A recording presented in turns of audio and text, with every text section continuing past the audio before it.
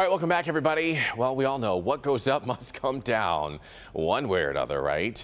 Well, this woman in Alberta, Canada fell through the ceiling of a convenience store after trying to get away from police.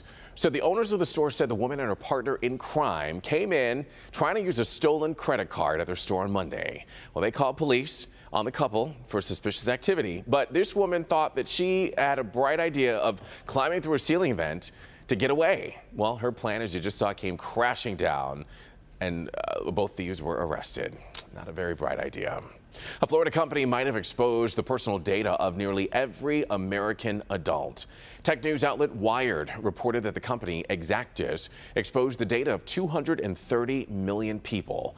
Apparently, the information leak did not include credit card or social security numbers, but it did include phone numbers and email addresses. When approached, the marketing and data aggregating company had no comment.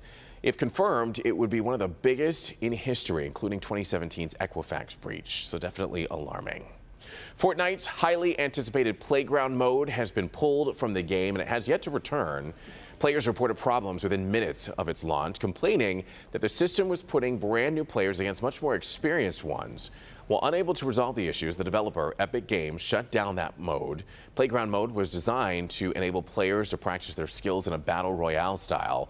The developer hopes to have things back up and running soon. That's what they're saying. Let's talk about Toys R Us, the company closing its doors for good today.